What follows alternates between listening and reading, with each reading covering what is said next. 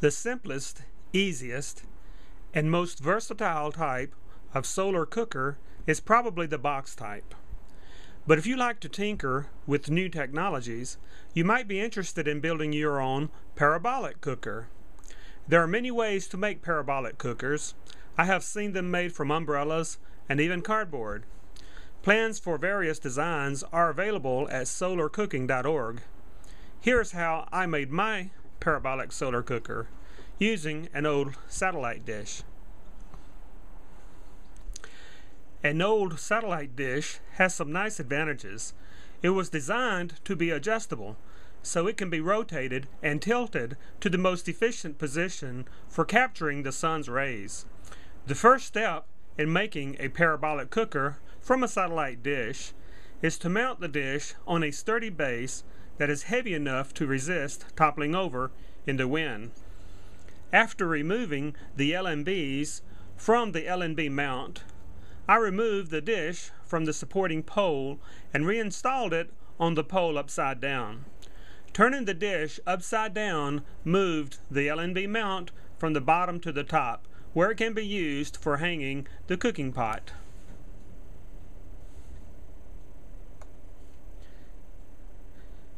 I discovered that a 1 inch by 2 inch board would fit perfectly into this type of LNB mount.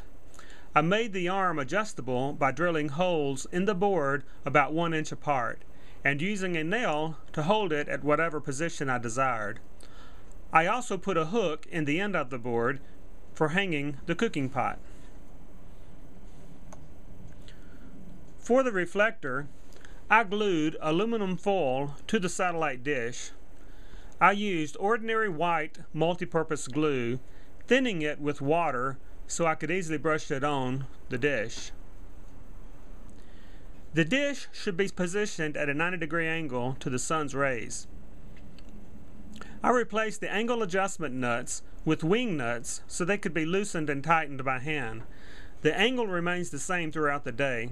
It changes only when the angle of the sun changes, according to the season of the year. However, when in use, the dish must be rotated to follow the sun throughout the day. So I left the nuts which hold the dish on the post loose so the dish could be freely rotated. For maximum absorption of heat and light, I painted the cooking pot solid black using high temperature paint, the kind you use to paint barbecue grills. I'm sure we have all, at one time or another, used a magnifying glass to focus the sun's rays to set a piece of paper on fire.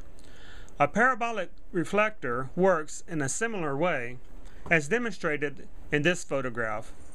A newspaper held at the focal point of this parabolic cooker took only 15 seconds to ignite into flames. This experiment was conducted in September at 8:30 a.m with the sun still low in the sky and an ambient temperature of only 65 degrees Fahrenheit. It is important to position the cooking pot at the precise focal point of the parabolic cooker. Throughout the cooking process, the cooker will need to be rotated slightly, about twice every hour, to follow the sun as it travels across the sky.